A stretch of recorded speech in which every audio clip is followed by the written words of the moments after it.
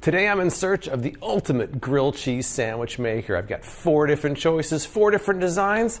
Let's see which one comes out on top in today's video.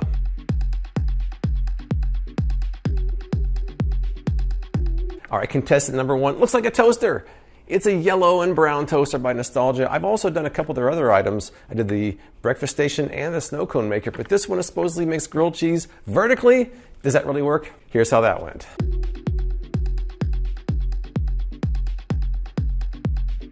Temperature knob actually tells you where the melt zone is, and that's where the cheese is going to be melted. Got a preheat option, which you have to do beforehand, and this is a defrost for frozen bread. First thing we have to do is preheat it. While we wait, I'll prepare my bread. Now, the classic grilled cheese sandwich has white bread, obviously. And because I can make two sandwiches, I'm going to do American cheese and Swiss cheese.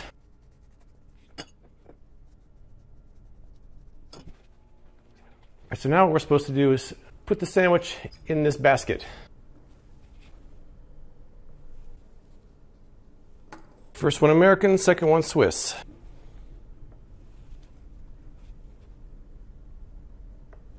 My question is is this going to drip cheese all inside of here? Because melted cheese will tend to go down. Well, let's see about that.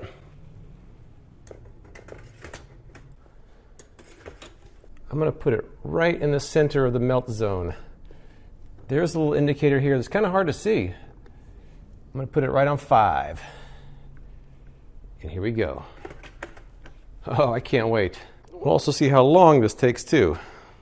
I did see a one uh, review of this, and the person did not butter their bread before putting it in there, which I don't know how you call it a grilled cheese sandwich when you don't have butter bread. It's not grilled at that point, it's just toasted bread with cheese, which is not the same thing. You've got to butter the bread for a grilled cheese sandwich. Even the instructions say you're supposed to butter the bread, so I don't know what they're thinking. We're at the, uh, the two minute mark. The Suspense is killing me. Not really. Well, I will. S- Whoa, there it goes. There it goes. Two minutes and 45 seconds. So now we're supposed to leave it for 30 seconds and then take it out. All right, it's been about 30 seconds. Oh, that looks nicely toasted. That looks somewhat toasted. A little bit of cheese dripped, not too bad. Try this one now. This one looks pretty good too. I'm a little impressed with the lack of drippage. Not much drippage there. Let me take a peek inside. Oh, that's some gooey cheese. Yeah. Let's try this one. Oh, nice, nice. Let me cut these open. I will say it's not evenly toasted. This area is not as toasted as this area. Same with this side over here. So uh, it's not completely even, but grilled cheese can be forgiving. So let's cut it open and see what happens.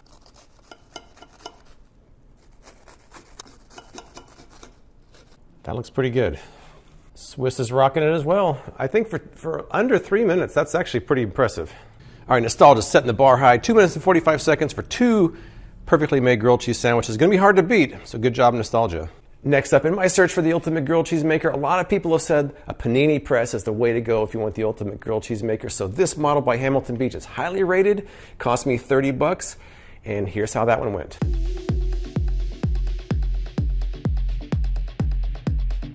Now I just plugged it in about a minute ago. It says to preheat for six minutes six minutes to preheat, but then the green light came on after about 45 seconds. So, I, and that's supposed to be an indicator that it's preheated. So I don't know. I'm just going to wait a few minutes and then I'll get started.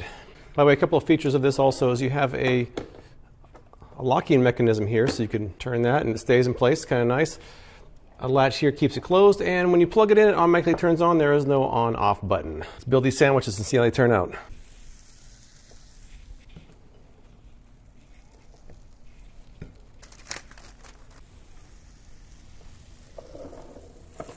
And we're off. I'll check this in about uh, three minutes. While that's cooking, I will say that the instructions are pretty minimal for this particular device here. Really, all you get to how to use it is, is this little section right here with five steps. That's it. Doesn't say how long to make a grilled cheese sandwich or panini or anything else. So I'm not impressed by the instructions. It's been one minute. Let me lift it up. Whoa! Whoa! Ho! One minute. I think it's done. I think it's done in one minute. Wow. Plastic spatula only. Plastic. Look at those beautiful grill marks, too. It's crisp, too. Look at this. That was about a minute and 15 seconds. Uh, I'm actually a little bit shocked here. Now let's cut this open and see how it looks. Actually, I better I better unplug that first because it doesn't have an on-off switch. Do you guys cut your sandwiches lengthwise or diagonal? I'm a, I'm a diagonal kind of person. I know there's different schools of thought here.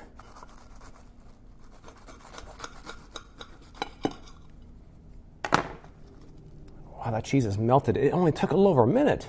Now for the Swiss cheese sandwich. Gooey. Gooey Swiss cheese. Number three, it's old, it's beat up, it's kind of haggard looking, but guess what? It still works. This is the red copper flip, which I've had for almost three years now, and it still holds up even though the outside doesn't look so great. But how does this compare to the other ones? Check it out.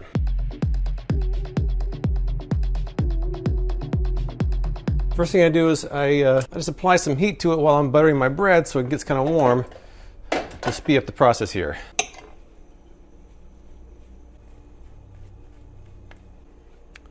Gently place the sandwich, squeeze it closed, and attach the clip. We'll see how long this takes. Now, usually it takes more than, it takes several minutes. So uh, the Hamilton Beach at its one minute and 15 seconds is going to be hard to beat, especially with two sandwiches, but we'll give it a shot and see how long it takes. While I'm waiting for this one, I'll butter up my other sandwich. This is how long the Hamilton Beach took. Let's see how it's at at one minute and 15 seconds. This is, this is the side that was down. Oh, pretty good, pretty good, pretty good. We'll go another minute.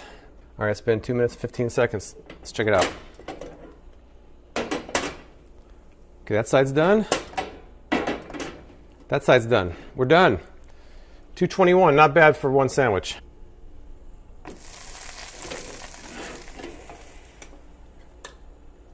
That's about how long the nostalgia took.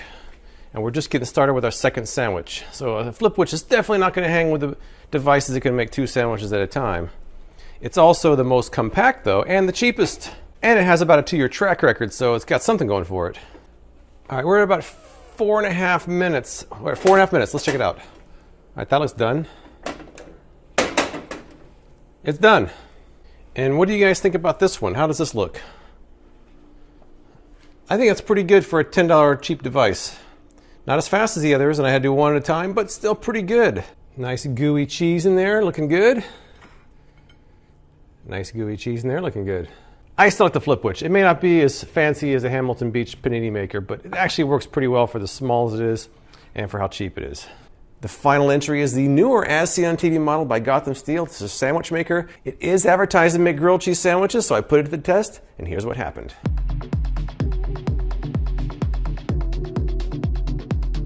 It's uh, been preheated. The green light is off, so it's time to go. Not quite as much room to work with here, but I think that'll do. It says close it and lock the lid, but don't force it. Uh, it says carefully lower the unit's cover, close it and lock it. Do not force shut.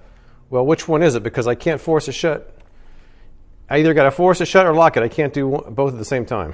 This says grilled cheese will take five to six minutes, but then it also says check after two to three minutes. So I don't know. I'm to do it. I'm to sque- I'm to squeeze it. There. Forget it. I just locked it anyways. We'll see what happens. We got something coming out of the side there. That, that's not good. I now have uh, smoke coming out of the back. Can you see that?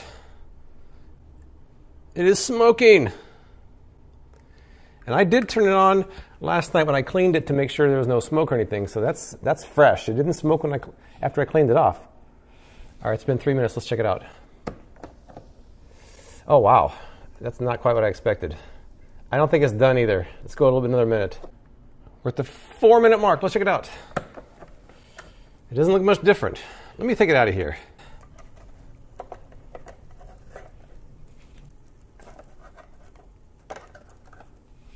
Hello there, good friend. Well, this is definitely unusual grilled cheese. They advertise as making grilled cheese sandwiches.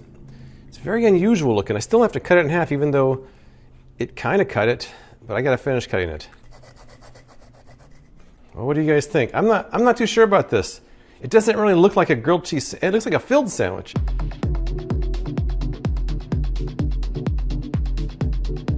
Got to factor in how easy they are to clean, right? Let's try that right now. They say soapy water. Pull some of that cheese out of there. There isn't much though, surprisingly. That took about that took about 10 seconds. This is a little bit more cheese. Let's see if that's easier to get out. Easy to clean. All right, nostalgia. All right, both the Hamilton Beach and the Gotham Steel have similar cleaning instructions, so I'm going to clean these off now that they're cooled off and see how well it goes. Step one paper towel.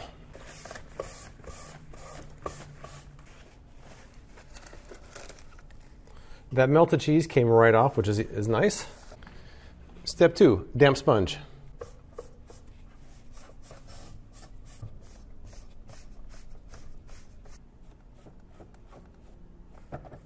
Red Copper Flipwich. It's not dishwasher safe, but you can put it in water. Maybe this isn't the way you're supposed to clean it, but it's worked for three years. The nonstick surface has held up. I used to use a sponge, but I found this is faster, and the surface hasn't degraded, so I just stuck with it. Good as new, good as new, right? Well, not really. Uh, I'll get back to the review in, in just a second. I'm actually at the gym now. Uh, I ate a lot of grilled cheese sandwiches today. I went way overboard. They were good though. They were they they all did pretty well. The problem is I feel like I got a big glob of cheese in my stomach and I'm supposed to go work out right now.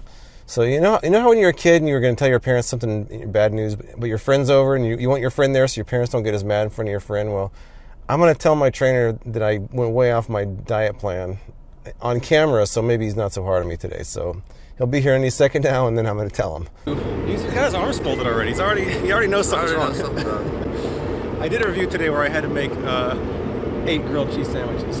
eight grilled cheese sandwiches. I end up eating most of them. You ate most of them? Come on, bro. Eight? Sorry, man, they were pretty good. Drop down and give me 20, bro. Let's go. Come on.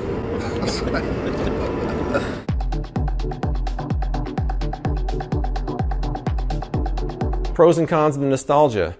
It seemed like it wasn't even on the bread, but it was very hands off. You push the button, set the timer, and it's done. Pros and cons of the Hamilton Beach. Cons is that it does smash the bread down, and there's no on-off switch, so you have to unplug it from the wall. when You're not using it. The pros is that it's very fast and it had nice crispy bread with nice grill marks on it. Pros and cons of the Flipwich. The cons would be that it only makes one at a time. It does require you to use the stove on it. The pros would be that it provided some of the best grill marks and it doesn't smash it down that much. And the pros and cons of the Gotham Steel, to me, it felt more like a filled sandwich, the way it kind of pushes the cheese to the center. That was a con to me. The pro would be that it does deliver a, a nice, aesthetically pleasing sandwich to a lot of people, and the bread was pretty crispy.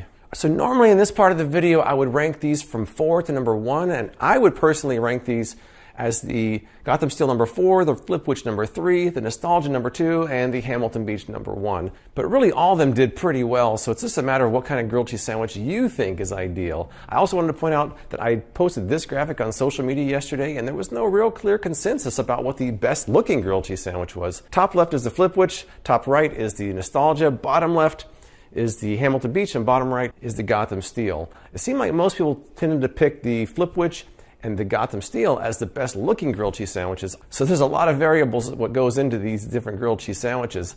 I thought this was going to be pretty cut and dry, but it's not because they all have their pluses and minuses. I think all of them did pretty well, so it's just a matter of what kind of sandwich you like and how much you want to spend. Please subscribe for more product reviews from me, James White, with Freakin' Reviews.